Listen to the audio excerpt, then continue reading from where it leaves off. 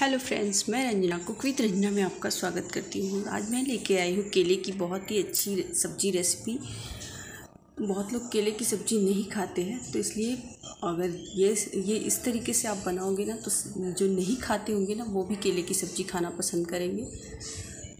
तो चलिए बनाते हैं और देखते हैं इसमें क्या कौन कौन सी चीज़ें लगेंगी। मैंने केले को काट के रख लिया है। और केले में मैंने थोड़ा सा नमक ऐड किया है। मिर्ची पाउडर, हल्दी।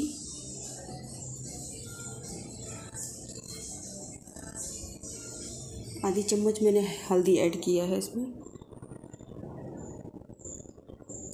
गरम मसाला, चाट मसाला, और लहसुन भी इसमें मैं वो करके डालूँगी, पीस के डालूँगी, और इन सबको मिक्स कर लूँगी अच्छे से। आधी चम्मच मैंने इसमें लहसुन ऐड किया है और अच्छे से इसको मिला लूँगी।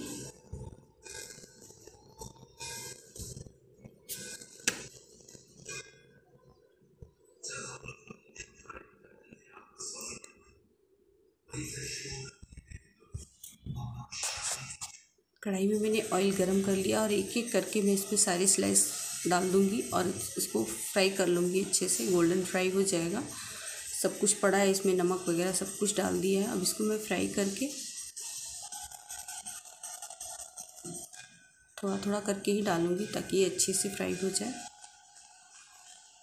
और इस तरह से अगर आप केले की सब्ज़ी बनाओगे ना तो सच में सबको पसंद आएगा। जो लोग नहीं खाते होंगे ना केले की सब्ज़ी, वो भी अच्छे से खाएँगे और पसंद करेंगे इस सब्ज़ी को। मैं भी केले की सब्ज़ी नहीं खाती थी, बट मुझे, मैंने ये सब्ज़ी जब बनाई ना तो मुझे ये सब्ज़ी बहुत ही अच्छी लगी और मैं ये सोचने लगी कि मैं आज तक केले की सब्ज़ी क्यों नहीं खाती थी? और केले की सब्ज़ी भी इतनी अच्छी बन सकती है। इसको मैंने अच्छे से पका लिया है पलट पलट के।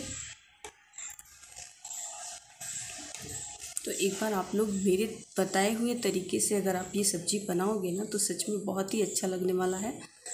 और इसके लिए आप लोग वीडियो को पूरा देखोगे तो ही पता चलेगा कि मैंने इसमें कौन कौन सी चीज़ें ऐड की है, किस तरह से बनाई है। ये सारी चीज़ें आपको देखने के बाद ही पता चलेगा। एक कढ़ाई में मैंने ऑयल गरम कर लिया है। उसमें मैंने जो भी पचफोरन होता है ना, सब कुछ डाल लिया है। अलग से मैंने उस पर थोड़ा सा सौफ़ डाला है। सौफ़ डालने से इसमें खुशबू बहुत ही अच्छी आती है। और कटा हुआ प्याज मैंने डाल दिया है। एक ही प्याज काटा है मैंने खुशबू बहुत ही अच्छी आती है। और कटा हुआ प्याज मैंने डाल दिया है। एक ही प्याज काटा है मैंने इसमें ज़्यादा प्याज नहीं डाला है। इसको मैं फ्राई कर लूँगी अच्छे से, ये ब्राउन कलर का हो जाए। फिर इसमें मैं टमाटर, जो भी मसाले ऐड करने हैं, वो सब कुछ ऐड कर दूँगी।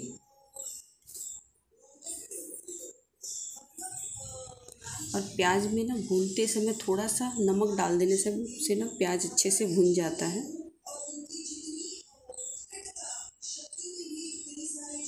इसमें मैंने टमाटर ऐड कर दिया है। एक टमाटर कट कट के डाला है मैंने इसमें। नमक डाल दिया है।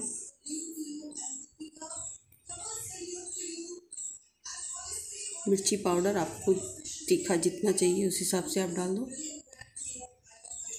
हल्दी पाउडर, चाट मसाला, गरम मसाला ये सब कुछ मैंने इसमें डाला है।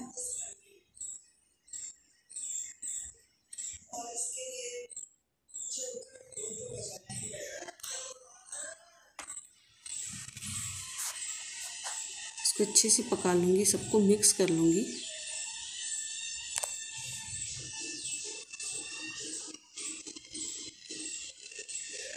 जो लहसुन पीस के रखा था ना, उसको भी मैं इसमें ऐड कर लूँगी। इन सबको मिक्स करके अच्छे से पका के फिर मैंने इसमें जो केला पकाया था ना, वो इसमें ऐड कर दूँगी।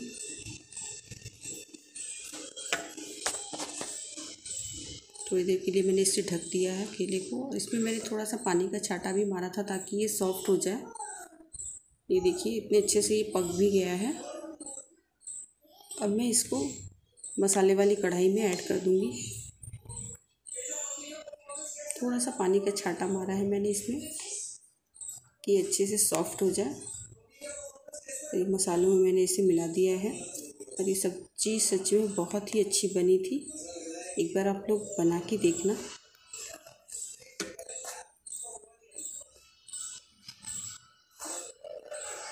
देखिए, बहुत ही अच्छे से मिक्स हो गया है ये।